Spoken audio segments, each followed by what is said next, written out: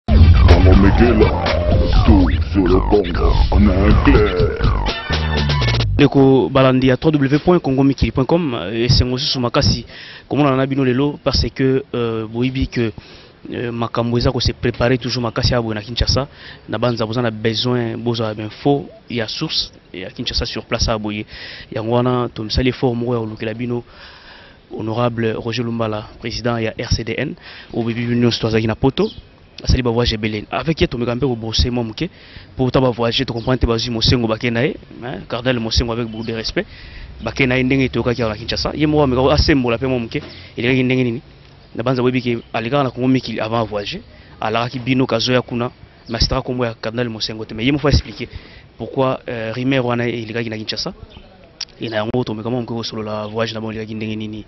ebongo ameka koyebisa biso le 16 ezobongama ndenge nini baconsigne nini ezali e na yango mwa moke akomeka koexplike biso après le 16 puisque le 16 eza na yango 10 ans plus tard 20 ans pardon plus tard oyo bandeko ya katoliko bazali kocommémore bandeko bakufaka epuis lutte na bango ya periode wana eza kocontinue nti lelo mais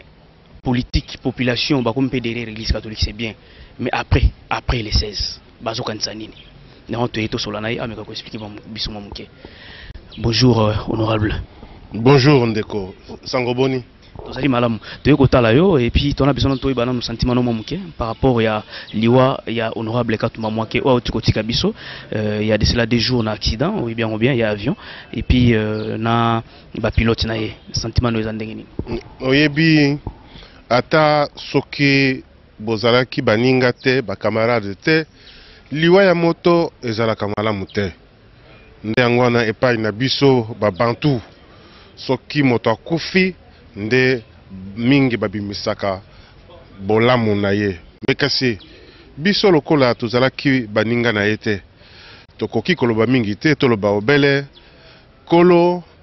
azwa motema na ye, ndenge balobaka na lopoto que son ame se repose en paix. Mais kasi boyebi que bango nde bazalaki na lingomba mosusu, bango na Joseph Kabila Kabange nde bazalaki konyokolo bana ya mboka na liwa. tokoki kozongela makambo manso oyo wana te oyebi biso tolingaki ye apakata mbango tomona ye ndenge aza kokima mpo epesa leso na bandeko mosusu oyo bazali ko Nyokolo bana ya mboka po makambo wana e se repeter lisusu te. Mais kokufa gratuitement boye tant que amoni ndenge peuple congolais a se liberer te eza kopesa pe mpasi na motema. Mais oyebi azali mwana Congo. Lokola akeyi nzakomba oyo azo oyo azobatela milimo ya ba congolais azala na ye. Biso nionso toza ko presenter toujours ba condoleances na famille wana ya Katumba Mwake oyo azalaki honorable et en meme temps na ba pilotes na ye oyo boye bakufi pe tobosani ba famille na bango te toza ko presenter ba condoleances na ba famille wana nionso tout mais president to comprendre te avant au voyage bokende poto ba voyage bosalaki yo bo dernièrement expliquaki biso pourquoi bozali kokende mais tosutuki nzoka nde bozali kovoyage susu na cardinal mosengo omoni ezalaki coïncidence la veille ya le 18 euh, cardinal mosengo ebongaki akende na belgique nayokaki neti ke baempeshaki ye Et puis le 19 nde tomonanaki ata na ye te na aéroport. Biso toyokaki obele sango ke ye azui pepo ya SN Bruxelles wana akei ebongo biso tozwaki Air France. Mais lokola tokendeki mokolo moko na ngonga ekeseni na une heure, ba dongolomiso bato ya motema mabe, Bango nde balobaki que tozalaki na ye na delegation moko nde tokendeki libanda ya mboka mais kasi tozala na ye to tozala na ye te azali mwana ya mboka azali cardinal elingi oloba ke representant ya pape na Afrique centrale po Congo Brazzaville baza na cardinal te. Ba mboka misusu baza na ba cardinaux te. Biso nde tozali na cardinal awa. Donc tozali na, na, na possibilite ya kopesa ye botosi nyonso parce que toyebi ke ye nde mokonzi ya eglise catholique universelle na Afrique centrale. tokoyeba mwa moke soki eza sekele te euh, séjour na bino na poto elekaki ndenge nini bademarche bosalaki elekaki malamu mpe bosalaki nini exactement na poto nakoki koloba makambo oyo biso tosalaki na poto te puisque Nyoso tu wana tozali ko reserver primaire epai ya president Etienne Tshisekedi ye moko. Et puis tokata nanu mpo banzenzi baleki. Que séjour na bino elekaki ndenge nini? Séjour elekaki kitoko hmm. mingi bokoki obele kotuna bana ya Londres, bana ya Bruxelles, bana ya Suisse, bana ya ya Bordeaux mpo babekisaki biso na Bordeaux, tokendaki na Nantes, tozalaki na Rennes, tozalaki na Saint-Brieuc, tozalaki bisika nyonso oyo esengelaki tozala. Naza kopesa mbote na losako epai ya bana ya Afrique du Sud mpo basi bapesi deja biso visa mpo na kokende na Afrique du Sud. Bakopesa biso visa mpo bazozela biso na Etats-Unis d'Amerique, bazozela biso na Canada, baza kozela biso na, na bamboka misusu oyo na boyinga moko kotanga awa.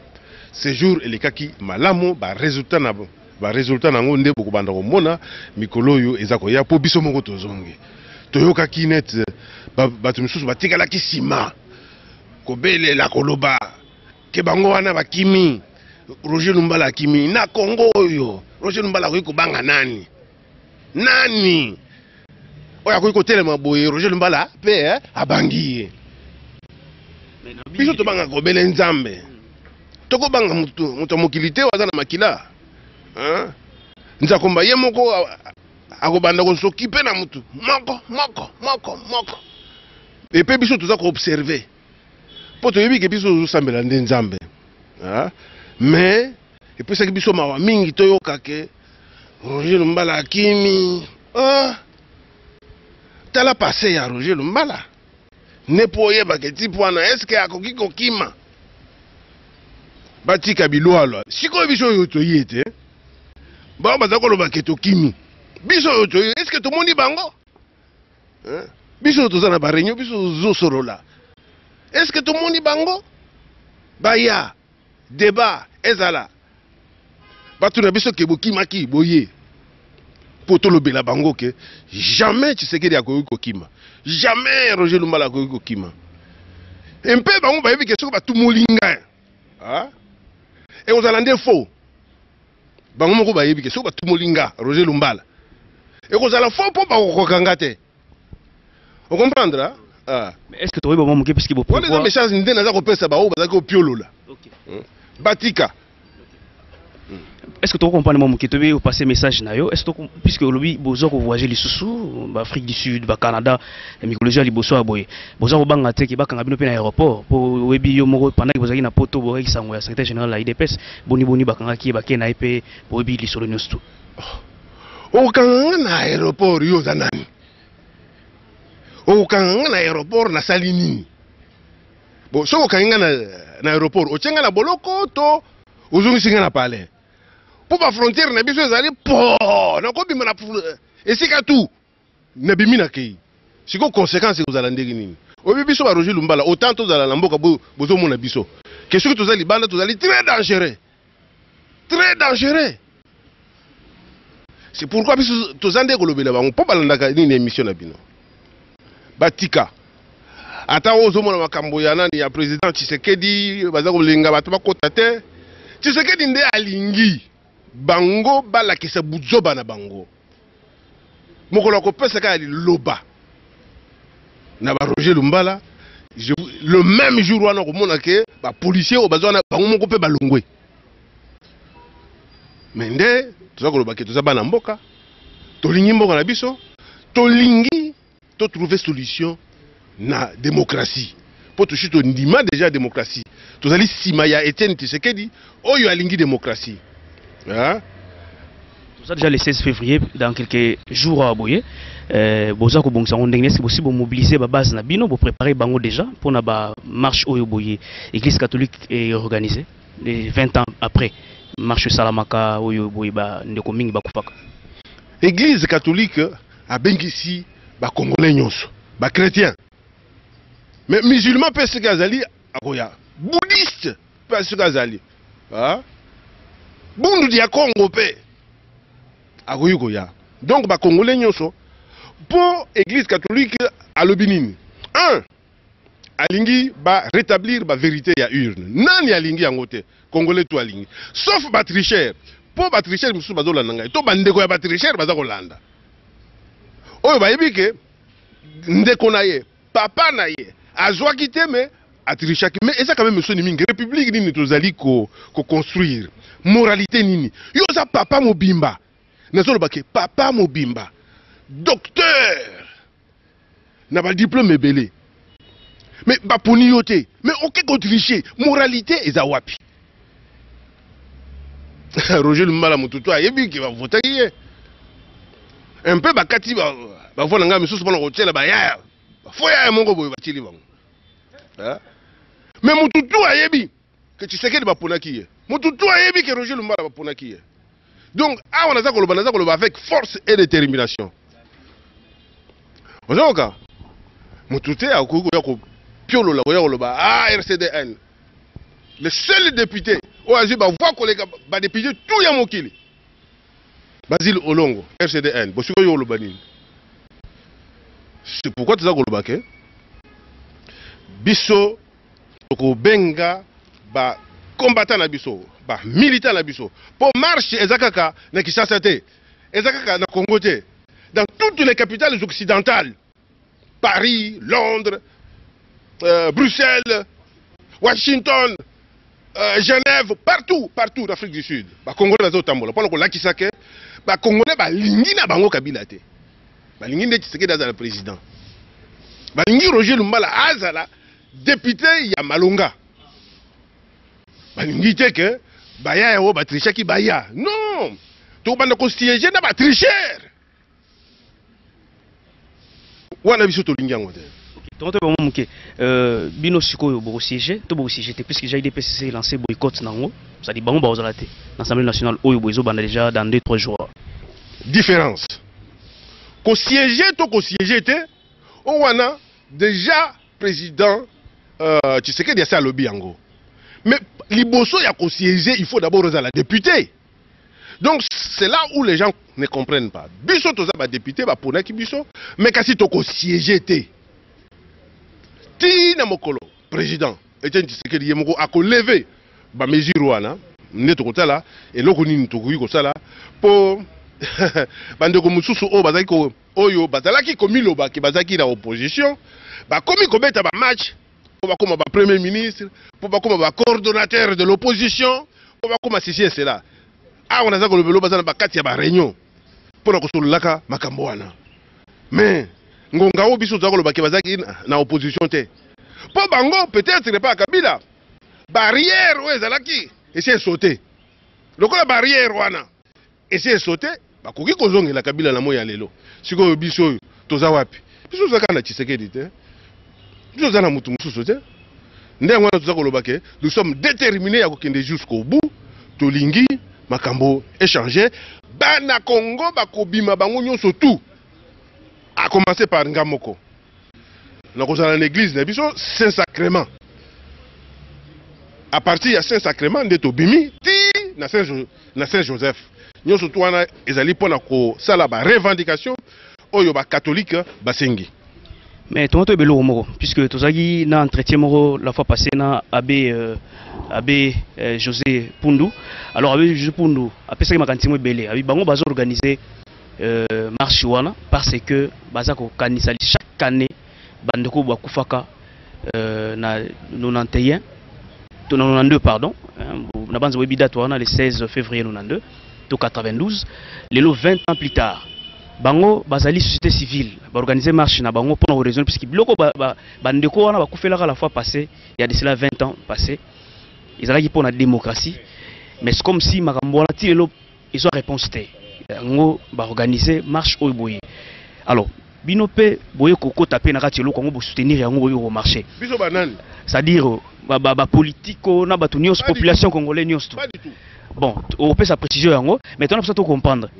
après les 18 les 16 eza nini toza na, na, na le 17 toza na le 18 parce que bango bakasuka na bango catholique esuka nango le 16 esuki wana bongo sikoyo après le 16 c'est le 17 le 18 et 19 nini ekosalama après est ce que continuation ya ya baactivité ya koreveille population ekozala to ekozala ndenge nini d'abord marche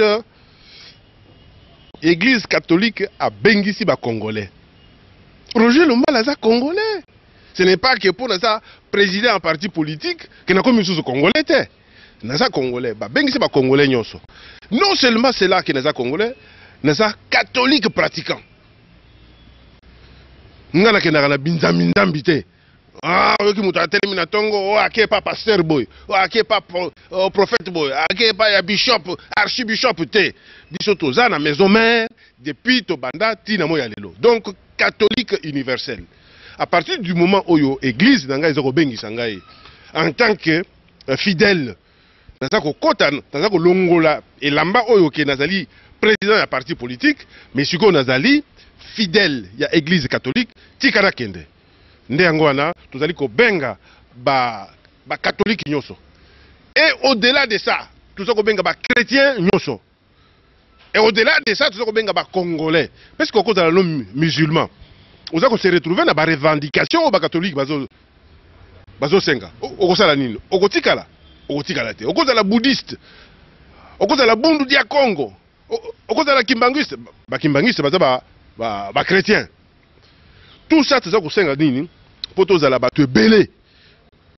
tokota na nzela ti to permettre monsieur Etienne Tshisekedi a jouir azwa imperium ya pouvoir na ye akoma président de la république anome baministre na ye mpe gouvernement ebanda nsima na yango totala makambo oyo matali ya solo baélection législative tobandela to banda ko compter pona kotala ke est ce que ce n'est pas oyo alekaki oyo alekaki te po mingi oyo baza kuna na kati bakosi balekaki te nde yango wana biso toza wana pona kosenga ke congolais nyonso tu il faut azala determine po azala na nzela mais après le 16 jusqu'à le répondre te après le 16 kasi makambo yango ezobanda le 16 te après les jeux eza kocontinue tina mokolo oyo tshisekedi akovanda comme président de la république wana sikoyo wana eza boule ya bakatolike te wana sikoyo eza boule na biso sikoyo mpo le 16 bakatolike bapesi ton osikoyo le 17 lokola bango bapesi ton te biso sikoyo bapoliticien torécupere yango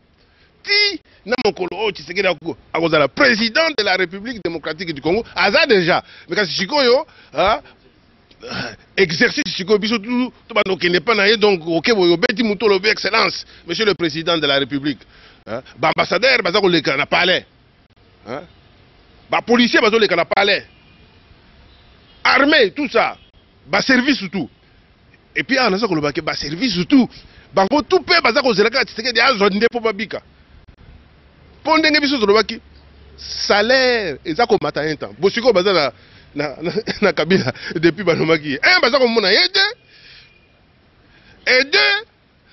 atieli bango tv ya mpona komela bango lisusu lar alors que avec gisekedi toza kolinga tomatisa vie nde yango nazoloba ke policier esika azali il faut comprendre ke vie na ye eza kodépendre na etienne tshisekedi wa molumba ok merci mingi bandeko balandi ya www.congomikili.com esongo makasi ya kokutana na euh, toujours euh, président roger lumbala parce que boyebi azalaka toujours na feeling wana epuis alobaka tellement bien que euh, posa ya kokenda eza te mais toza obligé kokenda mais eh, président biso tokokenda puisque boza na baconclave bozo prépare bamo oyo bokobimisa tout ça euh, tokoyeba liloba na oyo ya clôture ya entretien na biso eza nini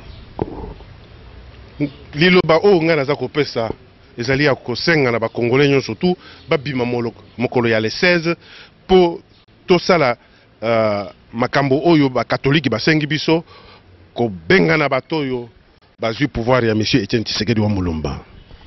bandeko balandi ya www.congomikili.com esongo makasi ndenge tongonanaki lisusu lelo na bino bouti koyoka bino moko boni boni topesaki micro epai ya président roger lumbala a s'exprimer boni boni bautaki voyage basambango basalaki na ndenge azalaki kinshasa mission nini baza nango bitumba nini baza kobunda biso topesaka be micro nde tolobaka chaque jour merci na ndenge bolandi Merci na bobo ministre azali na camera. Merci na Hervé Mbassi making. Merci lisusu na ndeko na biso bobo euh, ndeko na biso Colorado euh, euh, euh Chris Bola oyo azalaki na réalisation toujours bon bomo mesano. Tolingaka bino mingi bongo boye tomonani mbala sima euh, santé de fer na bino nyonso. Tango Mekela, tout sur le Congo, on est un clair.